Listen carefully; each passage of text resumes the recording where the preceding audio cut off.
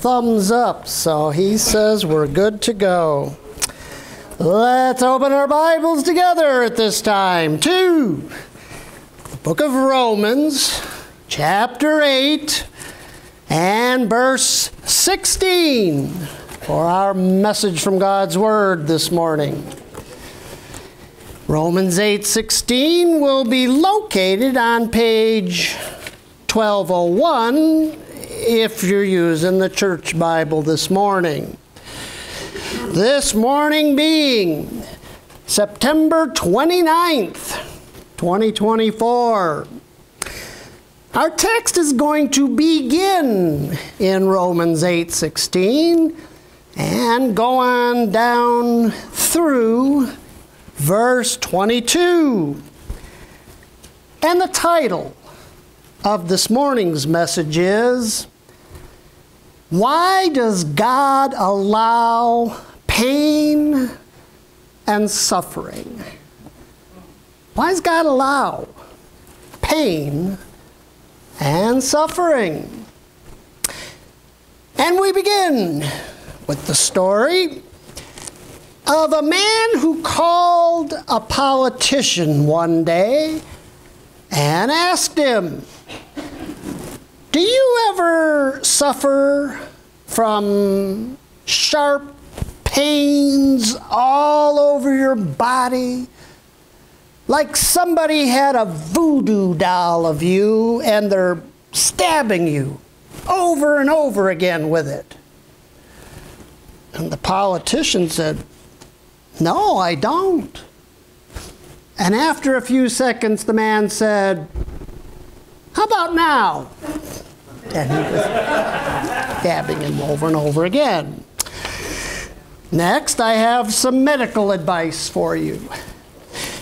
If you suffer from joint pain, it's probably because you're holding the wrong end of the joint. the end that's on fire.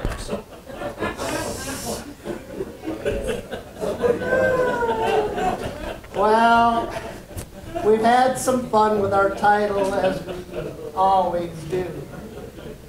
But it is a serious subject.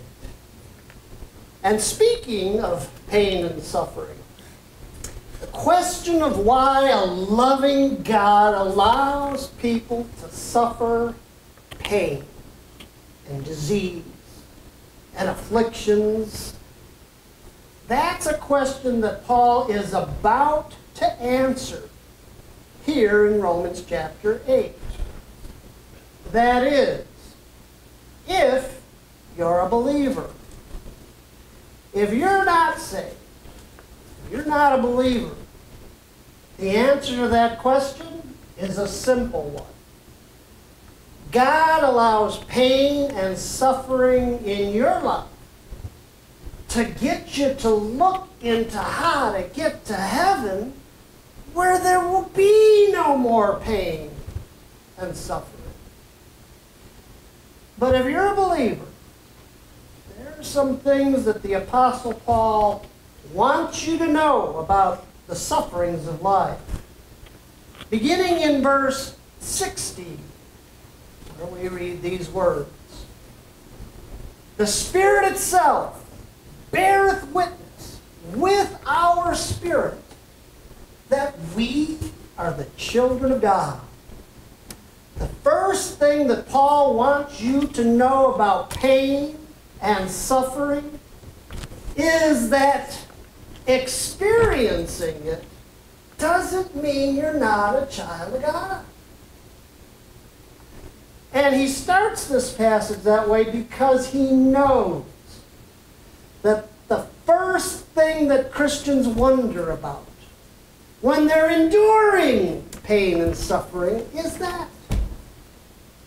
They ask themselves, if I'm really a child of God, why is he letting me go through this?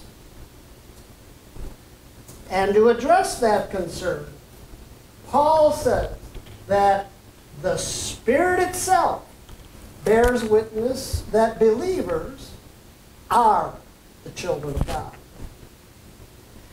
But before we talk more about that, you might be wondering why Paul calls the Holy Spirit of God and it in that verse. Because if you paid attention in English class when you were in school, you know that the proper pronoun for a male person, like the Holy Spirit, is himself, not itself. And that's why most of the, the newer versions of the Bible have, have changed that verse to make it read that way. But the reason our King James translators translated it itself has to do with how the Spirit bears witness that we're the children of God. You see, He doesn't do it out loud. If you're hearing voices, it's probably because Siri thought you asked her something. Or you're at home and Alexa's reminding you of an appointment you have that day. The Spirit bears witness that you're a child of God in the Bible, in the book that He wrote. And unlike the Spirit, a book isn't it, not a him. So itself is the correct translation here. The Spirit of God wrote the words of the Bible through the men who wrote it. So whenever you read the Bible, the Spirit bears witness with your spirit that the things the Bible says are true. That's why it doesn't say the Spirit bears witness to your spirit like it would if you spoke out loud. What does it say? It says he bears witness with our spirit. He's with us while we're reading the scripture. See the difference? And your spirit is part of the Trinity that makes up who you are. God created man, he said in your first reference, in Genesis 1 26, let us make man in our image, after our likeness. Let them have dominion over the fish of the sea, all of the air, the cattle, and over all the earth. God the Father said to God the Son and God the Spirit, Let's make man in our image. And part of what he meant by that is let's make man a trinity like us. And now, in your next reference, you're made up of what 1 Thessalonians 5.23 calls spirit and soul and body. So what's the difference between those three? Well, you use your body to relate to the world physically. You hug people here on Sunday morning, or handle things at home, like the remote control for the TV. If you're a man, I mean, that's our domain, right, guys? but you use your soul. You use your soul to relate to the world emotionally. The Bible often says to do what it says in Deuteronomy 6.5. Thou shalt love the Lord thy God with all thy soul. And oftentimes in the Bible you read things like you see in your next reference. In Psalm 11.5 where David said, The Lord trieth the righteous, but the wicked his soul hated. And then he said in Psalm 35 9, My soul shall be joyful in the Lord. And love and hate and joy, they're all emotions that you feel in your soul. But your spirit, your spirit is the part of you that relates to the world intellectually. As you see when Paul says in 1 Corinthians 2.11, For what man knoweth the things of a man, save the spirit of man, which is in him? So when you crack open your Bible and in your next reference it says in Galatians 3.26, For ye are all the children of God by faith in Christ Jesus. When you read that, the Spirit's words there bear witness with the intellect of your spirit that you're a child of God. Because you put your faith in Christ's death for your sins. And, verse 17 of our text says, and if children, then heirs. Heirs of God and joint heirs with Christ. If so be that we suffer with him, that we may be also glorified together. If you're a child of God this morning, you are an heir of God Almighty. And the thing that you inherit is the thing that Paul talked about in Titus 3 5 and 7. According to his mercy, he saved us, that being justified by his grace, we should be made heirs according to the hope of eternal life. If you're a child of God by grace, then you're an heir of eternal life.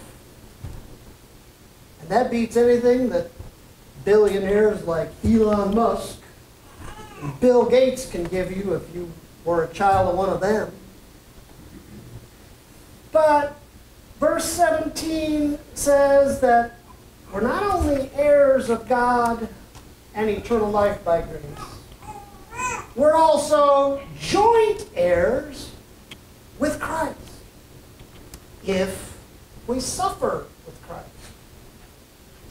So, the answer to the question of why God allows Christians to suffer in life is that suffering allows us to inherit something jointly with Christ. And the dictionary says that word joint there means something that's shared by two or more people, like a joint checking account. But now, don't be confused by this verse, because we all suffered with Christ when we got saved. What did we learn back in Romans 6 3? Your next reference. So many of us, as we're baptized into Jesus Christ, were baptized into his death. When you put your faith in Christ's death for your sins, the Spirit took you back to Calvary and identified you with Christ in the suffering that he suffered on the cross. But in verse 17, Paul doesn't say we're joint heirs with Christ if we suffered, past tense, with Christ, does it? He says we're joint heirs with Christ if we suffer with him, present tense with what, well, peek ahead to verse 18, with what 18 calls the sufferings of this present time. Makes you a joint heir with Christ. And the kind of suffering that he's talking about is the kind that he talks about in the rest of this passage, the kind that even animal creatures can suffer the suffering of physical pain. And when Christians suffer pain, we suffer it with Christ. Because you see, he didn't just suffer pain on the cross. If he fell down on the playground when he was a boy, his body would hurt.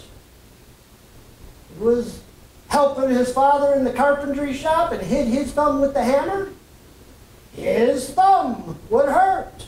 He'd feel pain just like he did on the cross. He wouldn't have been human otherwise, folks. And don't forget, he had to be human to die for humans. So when we suffer pain like that, we suffer it with him. Because he suffered it too. And verse 17 says that that makes us all joint heirs with Christ. And we don't have to guess as to what we inherit with Christ. Because Paul says we're joint heirs with him that we may be glorified together with him. All believers are going to inherit glory with Christ, as well as eternal life.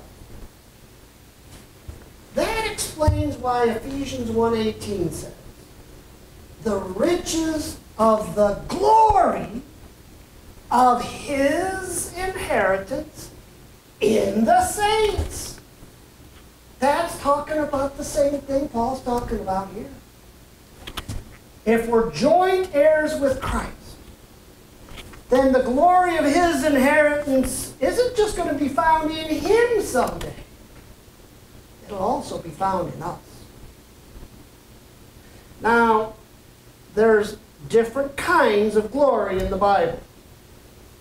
But the kind Paul's talking about here is the same kind Matthew 19, 28 talks about when it says, the Son of Man will sit in the throne of his glory. And that's the same kind of glory that Hebrews 2.9 talks about when it says we see Jesus crowned with glory. And I'm sure I don't have to tell you, thrones and crowns all have to do with reigning, like, like a ruler reigns over people. And that's the kind of glory that we're going to inherit with Christ. As Paul told Timothy in 2 Timothy 2, verses 10 and 12, where he says, I endure all things for the elect's sake, that they may also obtain the salvation which is in Christ Jesus with eternal glory. If we suffer, we shall reign with him. And we all suffer pain with Christ. So we're all going to reign with Christ. Now, if it seems odd to you that the Lord plans to reward you with glory for suffering pain and afflictions, don't forget you live in a dispensation where God is not shielding you from diseases like he did the Jews under the law if they obeyed him. And you also don't live in the dispensation when the Lord was here on earth healing his people of pains and afflictions.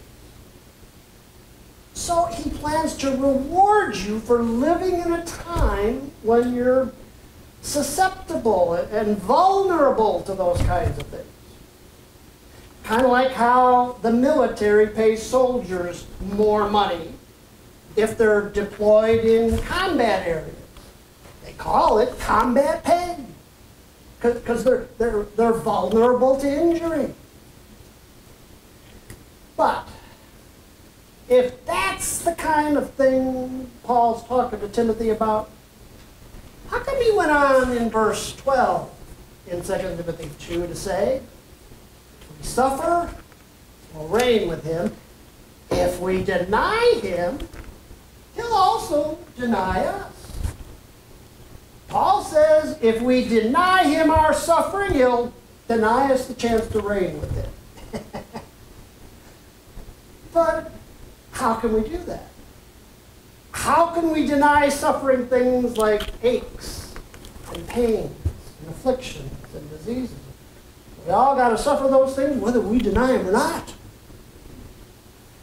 But here's the thing about that we don't fully suffer them with Christ unless we suffer them like He suffered them.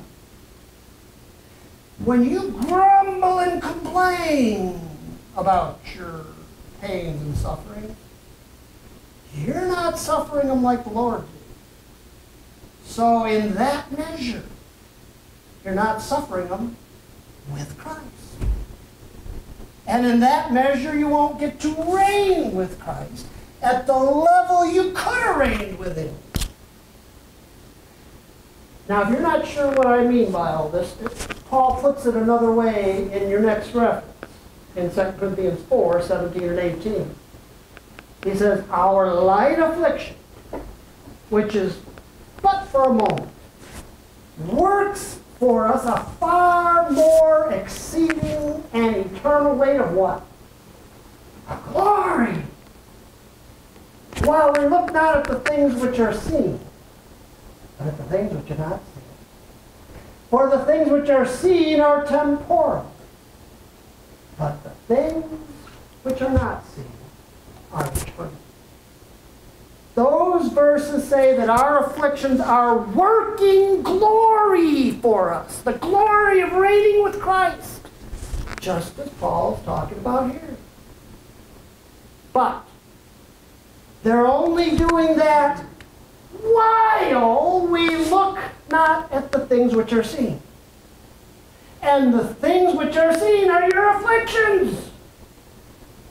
If you're looking at your afflictions, you're probably going to be griping about them. I know I do. And they'll work against you and not for you when the Lord's handing out rewards. And they'll cause you to suffer a loss of glory at the judgment seat of Christ. And you won't be ruling over the angels at the level you could have been. And I have to tell you, as I tell you that, I, I can hear Dave Stewart's voice in my head saying what he said about all this. he said, Hey, we all have to suffer those things. Why not make them count for something by suffering them like the Lord did? Why not grumbling and complaining about them? And to illustrate what he meant, he used the example of what Paul said about himself in 1 Corinthians 9, 16 and 17. Woe is unto me if I preach not. For if I do this thing willingly, I have a reward. but if against my will, a dispensation of the gospel is committed to me. The dispensing of the gospel of the grace of God was committed to Paul, so he had to do it. But he said, if he did it willingly, he knew God would reward him with glory for it. So why not do it willingly? He had to do it one way or the other and you have to suffer headaches and whatever you've got in life, why not do it like the Lord did? So he can reward you for it. Suffering without griping about it is the strongest testimony you can give to unbelievers without opening your mouth. And it is the best example you can give to believers to build them up in the faith. No wonder the Lord's going to reward you for it. And it is the reason He allows you to suffer so you can share in more of Christ's glory. And to give you some incentive to do that, Paul goes on in verse 18 of our text to say, For I reckon that the sufferings of this present time are not worthy to be compared with the glory that shall be revealed in us. Now, I got a question for you. How'd Paul know that? How did he know that was true? How did he know that the things we suffer can't compare with the glory that awaits us in heaven? Well, the answer is he was able to make that comparison himself thanks to something that happened to himself in 2 Corinthians 11, 24, all the way through chapter 12 and verse 4. In chapter 11, he, I'll give you an abbreviated version. He gives you a long list of the things he suffered. Of the Jews, five times received I 40 stripes save one. Thrice was I beaten, once was I stoned, and then, after that long list, he ends the chapter by saying, In Damascus, the governor kept the city with a garrison, desiring to apprehend me. And through a window in a basket was I let down by the wall and escaped his hands. And a few verses later, he says, I was caught up into paradise. Do you see the contrast he's drawn there? I was let down from the wall to escape, and then I was caught up. After talking about a ton of things that he suffered, including being let down in a basket. He was caught up to paradise, to the third heaven, that passage says, where he was able to compare the things he suffered on earth with the glory that was awaiting him in heaven. And he decided then and there that there was simply no comparison. So, what did he see up there? what did he see in heaven that made him draw that conclusion? Well, he saw the glory of something he described in Ephesians 1 17 to 23, where he said, The God of our Lord Jesus Christ raised him from the dead, set him at his own right hand in the heavenly places, far above all principality and power and might and dominion, the angelic host, and gave him to be the head over all things to the church, which is his body. When Paul was caught up to the third heaven, he saw how far above the angelic host that God had set Christ because of the things he suffered. And he knew that someday he'd be exalted that highly with Christ. Because God exalted him, it says, to the church. In other words, for our benefit. We're all going to be exalted that highly in Christ. And none of the things that Paul suffered could compare with that glory. For obvious reasons but also because everything he suffered was temporary. And the glory he saw there was eternal. So I don't care how much you have to suffer in life, it's light compared to the eternal weight of glory that's waiting you in heaven. In that day, the Christian who suffered least with Christ is going to be glorified far above the angels with him. That's why verse 18 of our text says that that glory will be revealed in us. It was revealed to Paul when he was caught up to the third heaven, but it'll be revealed in us when we join the Lord far above the angelic host. And you know, as much as you're looking forward to that day, it might surprise you to learn that Christians aren't the only ones who are looking forward to it. Paul says in verse 19 of our text, For the earnest expectation of the creature waiteth for the manifestation of the sons of God. Now, a creature is something that God created that has life, like you see in your next reference Genesis 1 21 and 24.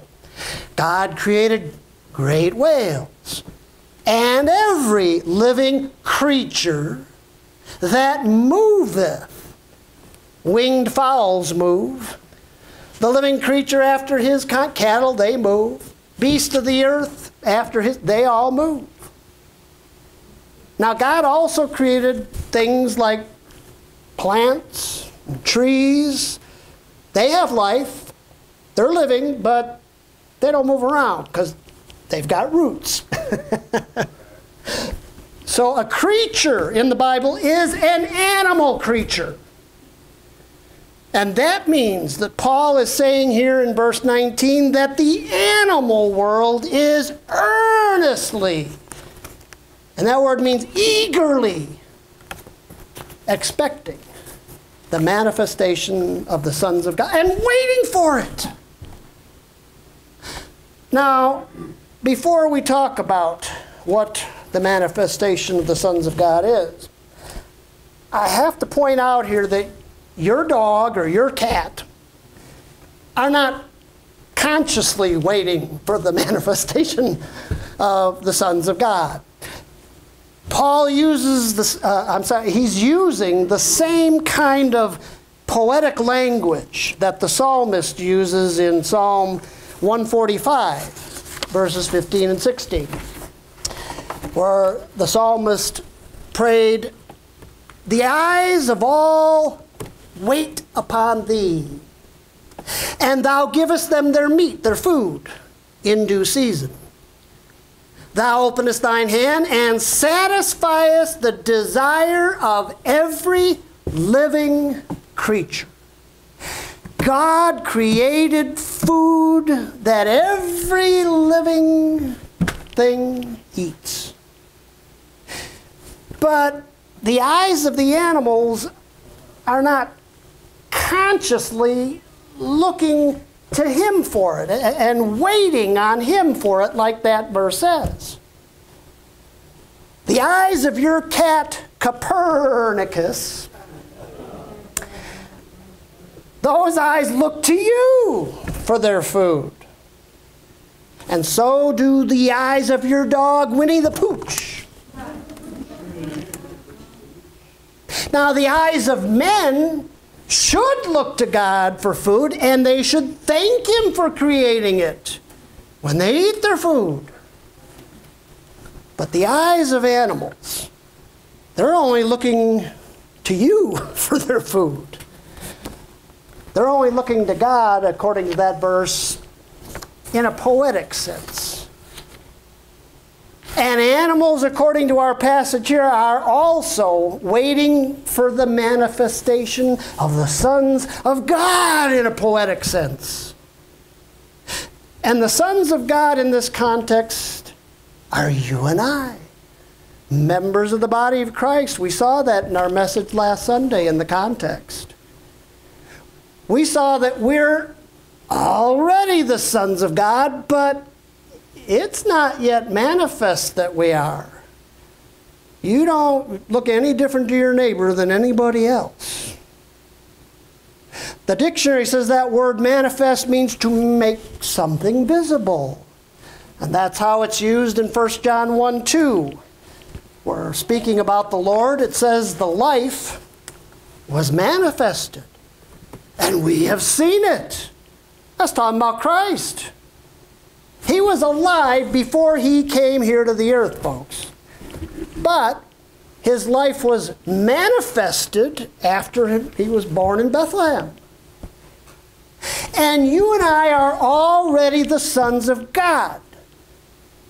But we're not going to be manifested as God's sons until the rapture. When you're caught up to meet the Lord in the air, it'll be manifest to everybody in all of creation that you're a son of God. But now we got to ask well, why would the animal world be looking forward to that? I mean, if you know your Bible, you know that animals are going to continue to suffer pain and of diseases and afflictions after the rapture. They're not going to stop suffering pain and afflictions and dying until God makes new heavens and a new earth.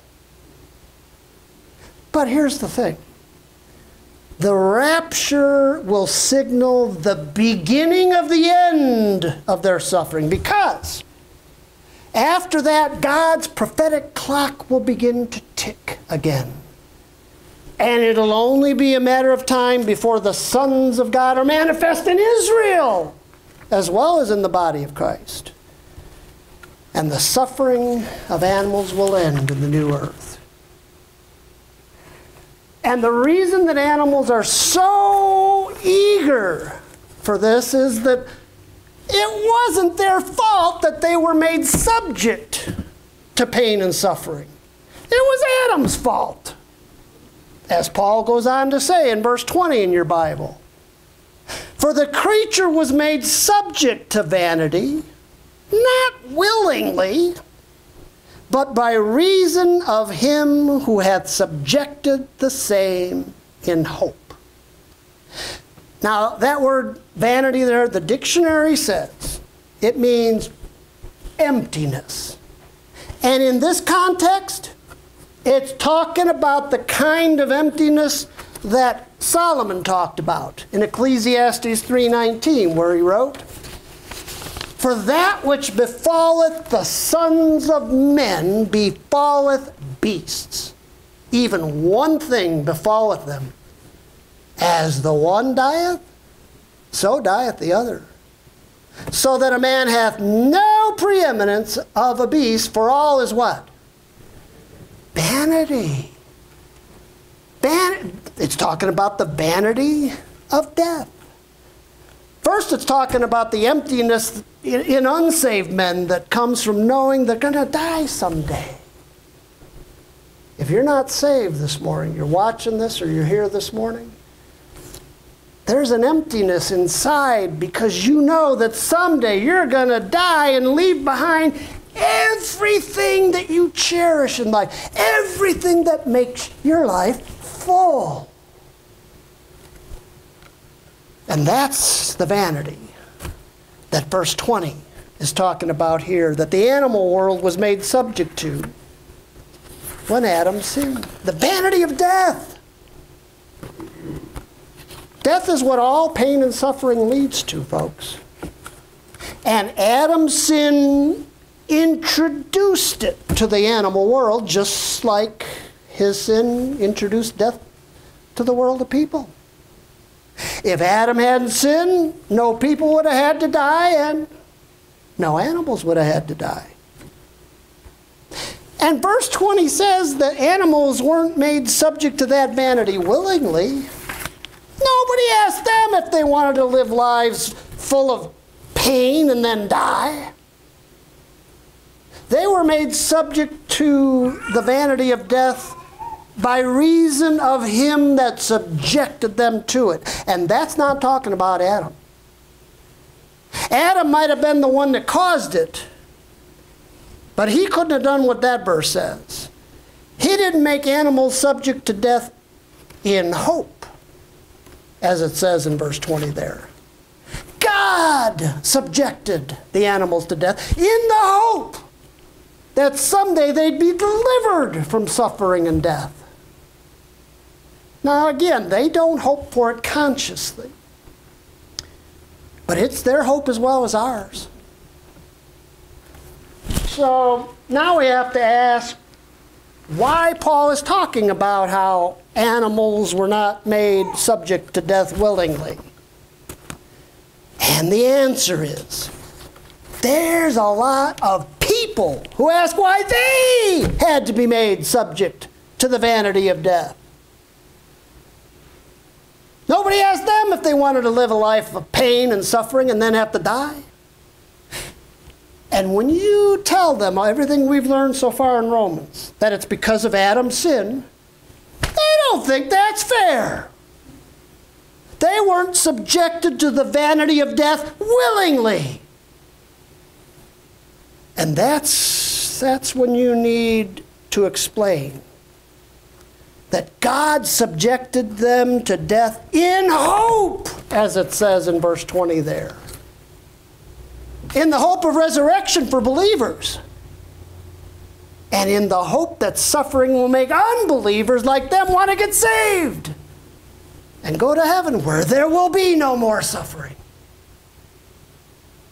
God subjected animals to death in the sure hope that someday He'd rescue them from death because they were the innocent victims of men.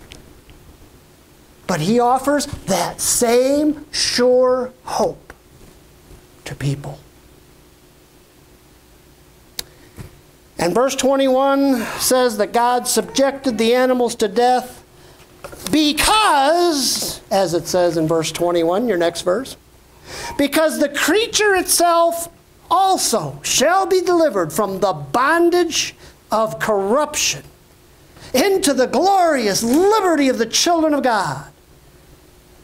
And that word corruption in this context means the corruption of death that bodies go through in the grave. Again, death is what all pain and suffering leads to. And the animal world is going to be delivered from the bondage of the corruption of death into something that Paul calls the glorious liberty of the children of God.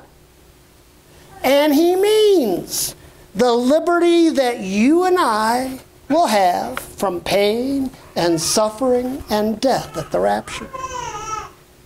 Every child of God is going to experience that liberty at the rapture, and every animal will experience it in the new earth. That's their hope. And our liberty from pain and suffering is going to be a glorious one. Now, now don't get me wrong. It was glorious when the Lord was here on earth healing people of their pain and suffering. But let me tell you, that was just a taste of the liberty that's yet to come for all of God's people. Because when the Lord healed a man, he didn't heal his heart disease at the same time. He didn't lower his cholesterol. It was a piecemeal kind of healing that pales in comparison with the glorious liberty from pain and suffering that awaits you when God fixes everything that's wrong with you. But animals, animals weren't the only victims of Adam's sin.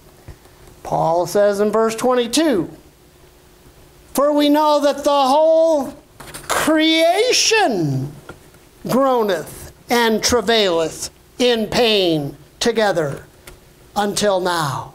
And that word creation in the Bible, that always refers to the world and everything in it, not just the animals. Look at Mark 13, 19. The Lord said, For in those days shall be, he's talking about the tribulation, shall be affliction such as was not from the beginning of the creation which God created unto this time. And that's not just talking about the animals that God created there, the creatures. That's talking about the mountains and the oceans and the rivers. So here, animals, animals aren't the only ones groaning in pain. The earth itself is hurting because of Adam's sin. Isn't that what we learned in Genesis 3 17 and 18? After Adam sinned, God said, Because thou hast eaten of the tree of which I commanded thee, saying, Thou shalt not eat of it, cursed is the ground for thy sake. Thorns and thistles shall it bring forth unto thee the ground of the earth was innocent of any wrongdoing. it wasn't made subject to pain and the vanity of death willingly. It too was cursed for Adam's sin, for Adam's sake. But listen, the whole creation is going to be redeemed for the sake of the one the Bible calls the last Adam, the Lord Jesus Christ. But now I got a question for you. Do the ground and plants and trees that grow in the ground, do they feel pain and groan about it like it says in verse 22? We know the whole creation groaneth and travaileth in pain together until now. Well, according to the internet, which as we all know is never wrong, trees emit an ultrasonic sound when they're thirsty or suffer other kinds of distress. And I don't know about you, but I don't know if that's true or not. I just know this. I never want to hear them griping about it like they griped to Dorothy on The Wizard of Oz. I got to tell you, when she picked the apple off of that apple tree, and it said, I would you like it if somebody came along and picked something off of you? It totally creeped me out. to this day, I don't know why they make little kids. When I was a kid, they made oh, it's going to be on this year. You know, in those days, you had to wait to see it once a year. Why they made it? I was terrified. Go home and watch. Google that. Get, get, on YouTube. Get the clip of that like I did. And I don't mean to creep you out, but Luke 19, 37 to 40 says, The disciples began saying, Blessed be the King that comes in the name of the Lord. Palm Sunday. And some of the Pharisees said, Master, rebuke thy disciples. They were treating him like he was the Messiah. And some of the Pharisees didn't like that. And he answered and said unto them, I tell you that if these should hold their peace, the stones would immediately cry out. Evidently, stones can talk. And not only that, the prophet Habakkuk said in Habakkuk 2:11, "The stone shall cry out of the wall, and the beam out of the timber shall answer it." Well, now we got sticks and stones talking with each other and having a little conversation in the new earth. And maybe appearing on Jeopardy, you know. and if stones and trees can talk, maybe they can be waiting for the manifestation of the sons of God. Look what the prophet Isaiah said about that in Isaiah 42, 4 and 10, where he wrote, The, the islands, the isles shall wait for his law. You say, well, no, it's talking about the people in the island. No! The isles shall wait for his law, the isles and the inhabitants thereof. The islands themselves, according to that, are waiting poetically for the Lord's coming and the new earth that he'll bring in the new earth. They know it's coming in the new earth because Isaiah, look what Isaiah says in 51 5 to 16. The isles shall wait upon me. Lift up your eyes to the heavens and look upon the earth beneath. For the heavens shall vanish away like a smoke, and the earth shall wax old like a garment, and then what? Then he's going to make a new earth. He says, I'm going to let it pass away like a garment, that I may plant the heavens and lay the foundations of the new earth. And if islands are mindful enough to be waiting for the Lord's coming, maybe islands and rocks and trees can do what verse 22 is saying feel pain. The internet says they trees emit that ultrasonic sound when you start cutting them down, too. We know that trees will someday be able to feel emotion because it says in Psalm 96, 12, and 13, Then shall all the trees of the world rejoice, for he cometh to judge them. Well, joy is an emotion. And if trees can feel the emotion of joy, think maybe they might groan a little when they get hit by lightning? I know I would. You say, well, this is, is just more poetic language. Well, that's not the sense I got when, when the Lord said the stones would cry out. Is that the sense you got? I think he meant they would, literally.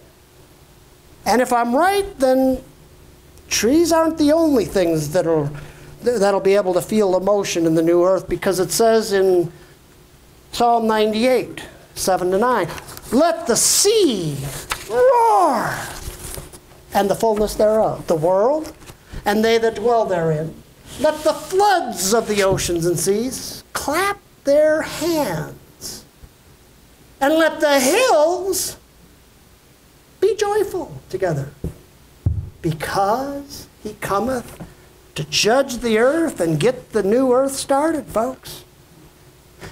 That verse says, when the Lord comes, the sea will roar its approval and clap its wavy hands. And hills are going to rejoice in emotion.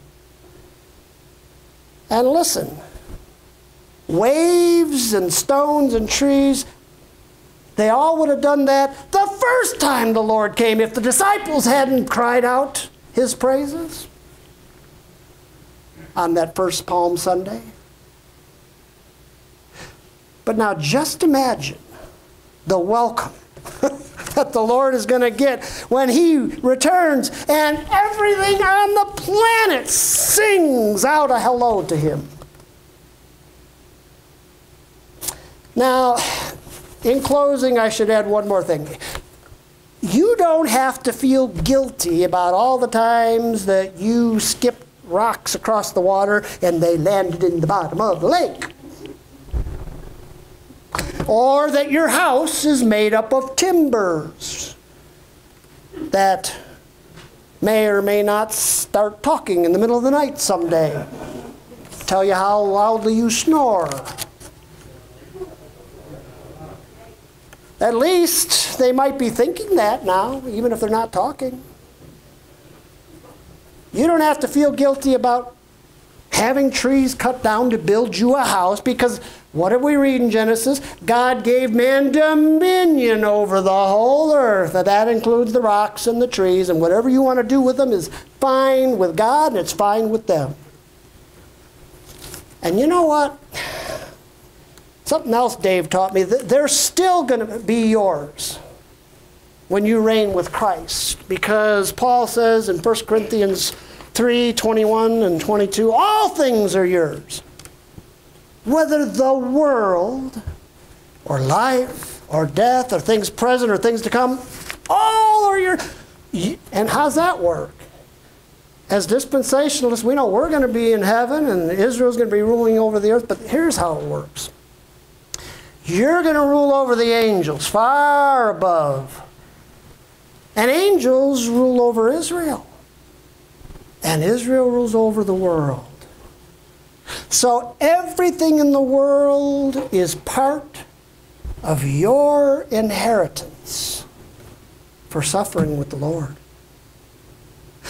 Don't forget, 1 Corinthians 3, where that last reference is found, that's the chapter that talks about our rewards for serving the Lord. And he says, the world is yours.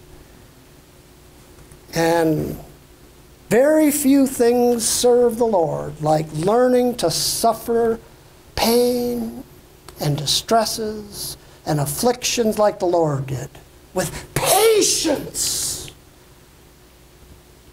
And he's going to talk about that next Sunday. Father, we, we thank you that we have such a great God who reveals things like this that just boggle the imagination, but we know they're true. Because our spirit bears witness with the words that your Spirit wrote in this book.